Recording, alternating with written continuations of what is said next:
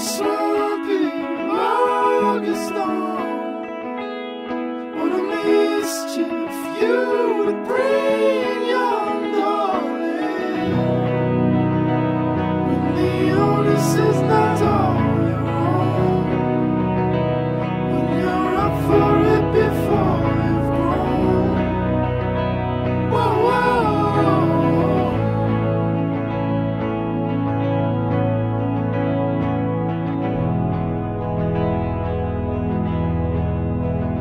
From the front